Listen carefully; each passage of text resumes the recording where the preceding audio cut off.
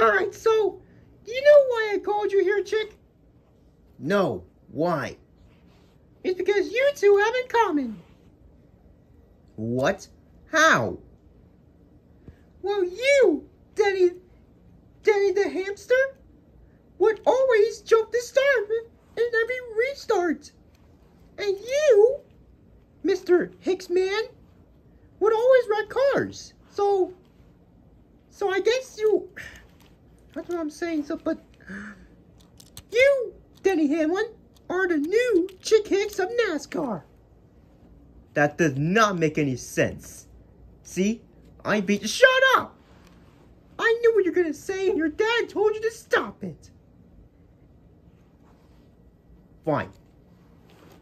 Alright then, so I was gonna say, you are the new Chick Hicks of NASCAR, and that's how I had to say it. That does not make any sense. Yep, just like I said. You know what?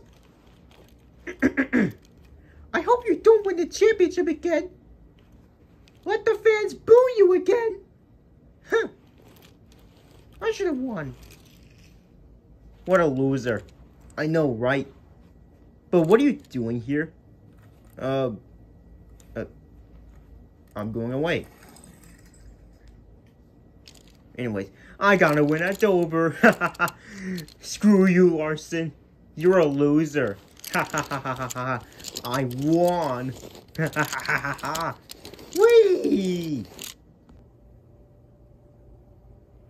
Um, actually, I, I'm just gonna move down Denny Hamlin on my ranking list to 26 since he just since he just starts being a I mean being a um what's it called? Um um the menace